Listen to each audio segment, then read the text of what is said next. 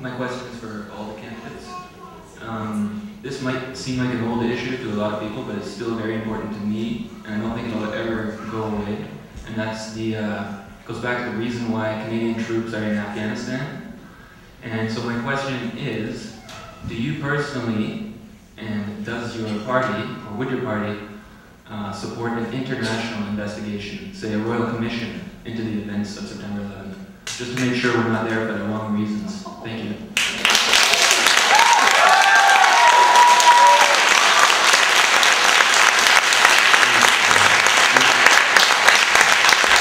Absolutely, we've been asking for that ever since the darn thing happened. We do not believe that what came out of that so-called commission report was even close. And I personally am, I'm blown away by the fact that most people don't even know what Building 7 was. They don't even name, know it came down just like a... Why? Simple question. Has anybody ever heard about that uh, high-rise building in, in Spain that burned for three years and it was almost identical in structure to the Twin Towers?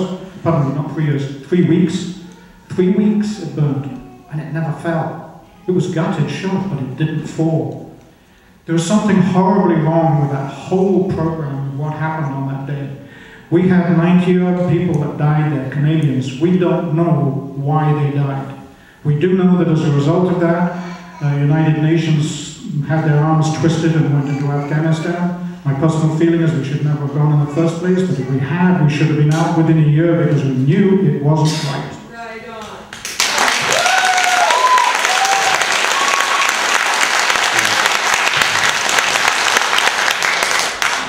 Again, you can, uh, this is multiple UN resolutions. There was two prime UN resolutions um, that asked NATO forces to go into Afghanistan.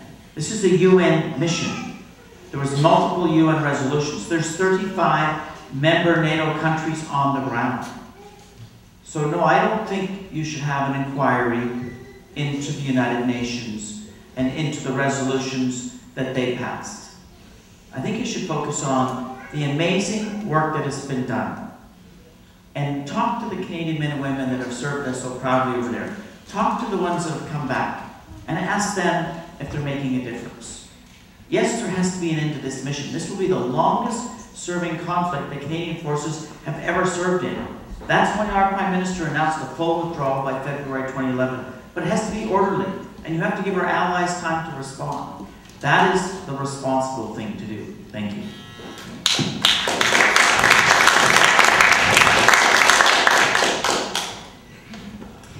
I think fundamentally Canadians have felt that, that we've lost our way. We used to be uh, given a, a tremendous sense of, of pride in that we were independent thinkers, we weren't following the American model, that we were capable of, of providing leadership on, on many, many issues. I think Canada has lost its way.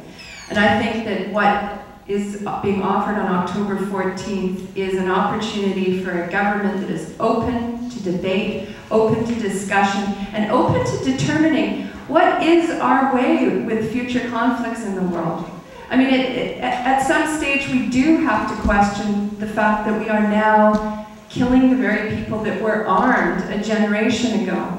And, and that does raise questions about strategy, not only at the UN table and in NATO, but just internally. So I think what that begs is that Canadians want to get re-engaged in the debate about our international role. And I think it can cover all of these, all, everything that we've, you know, experienced in the last, maybe since, since 9/11.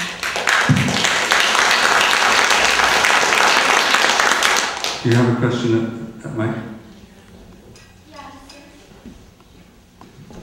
I'll just very quickly say, your question was about... Your pardon, I'm sorry. I'm Yeah, yeah, it was a question about an international commission on 9/11, I'm afraid I, I can't really answer that because I'm not sure what it might achieve. Uh, I would be happy to talk to you afterwards about that.